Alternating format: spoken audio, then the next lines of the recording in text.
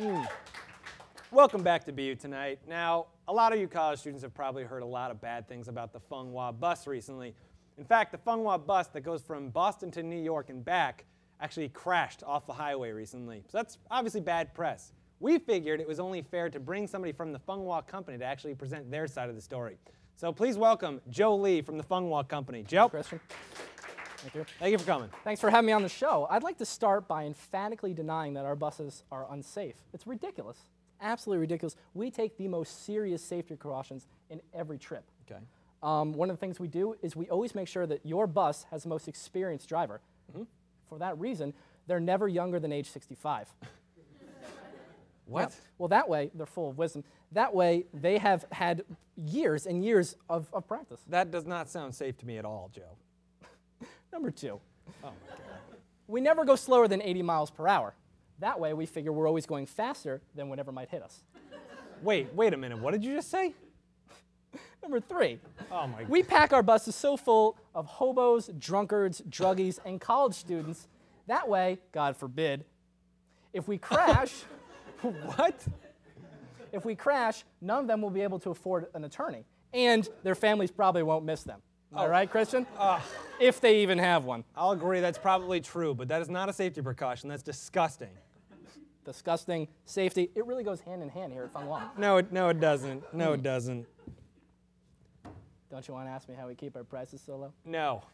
No, I don't want to know. Ask me. I'm not coming back. Ask me. No. Okay, Christian. In a modern, in today's modern world, keep up. In today's That's modern my, world, That's my cup. Oh, come on.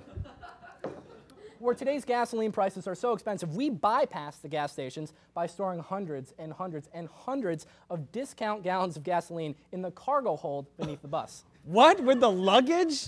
Well, what about if you get in an accident? That just would cause an explosion.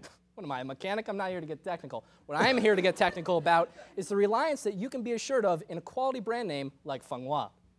What does Fung Wah even mean? Well, you, you may not like this, but when I was first picking the name, I, uh, I didn't really know a lot of Chinese. So, Oh, um, so I was going for something along the lines of, you know, strong dragon Yeah. or, or fierce dragon, but Yeah. its literal translation came out something closer uh, to fiery death, Oh, my which God. is not good for advertising. oh, So my God. Well, how many accidents have you guys been in? Oh, just one. Okay, unless, of, good. unless of course, uh, you count explosions as accidents. Why wouldn't I count explosions? Explosions are the worst kind of accident. Some people, but uh, Well, how many do you have? How many accidents, including explosions, do you have? Including explosions. Um, then uh, Okay, at least it's one fist. 537. 537? That's it. I want you off my show. I can't take this anymore. I'm very sorry about so this. So cheap. Get back on the bus to New York, wherever the hell you came from, on your Fung Wah, and get out of here, all right? What am I, a moron Christian? I fly JetBlue.